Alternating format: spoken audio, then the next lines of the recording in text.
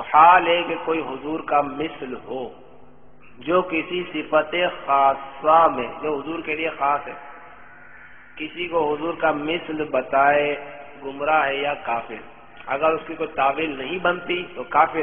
اگر کوئی ایسی، ایسا جملہ کا ہے جس کی تعویل بن رہی ہے تو کیا کہہ دیں گے؟ گمراہ کہہ دیں گے۔ جیسے کہ کوئی حضور کے بعد کسی کو خاتم النبیین کہہ دے، تو اس میں کوئی تعویل ہے ہی نہیں۔ کافر ہو جائے گا حضور کو اللہ عز و جل مرتبہ محبوبیت کبرا، محبوب رب اکبر آپ ہیں۔ تو اللہ نے مرتبہ محبوبیت کبرا سے سرفراز فرمایا کہ تمام خلق جو یا رضائے مولا ہے، جو یا مانے تلاش، جستجو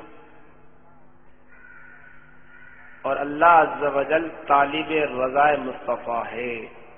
خدا کی رضا چاہتے ہیں جو عالم خدا چاہتا ہے رضا محمد۔ پرانے پاک میں نا اللہ تعالیٰ فرماتے والا سو کا یعطی کا رب کا فتر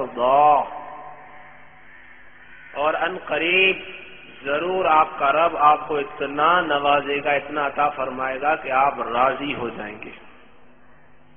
سرکار کی شان تو بہت عرفہ والا ہے۔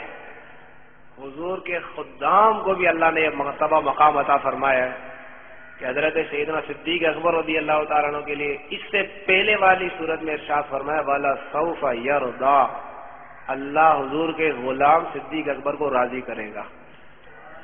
تو خادم کی یہ شان ہے۔ تو سرکار کا کیا مقام ہو؟ صلو علی الحبیب۔